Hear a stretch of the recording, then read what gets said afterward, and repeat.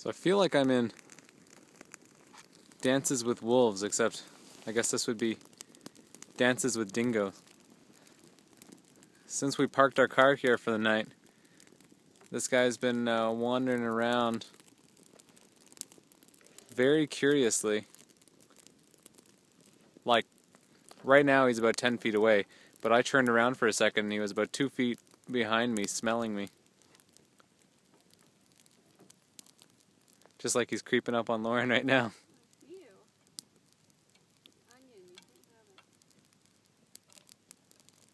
We're quite a ways away from the nearest town.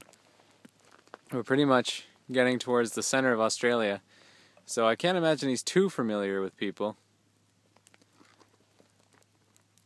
But also wouldn't have too many natural predators, so is also not very scared.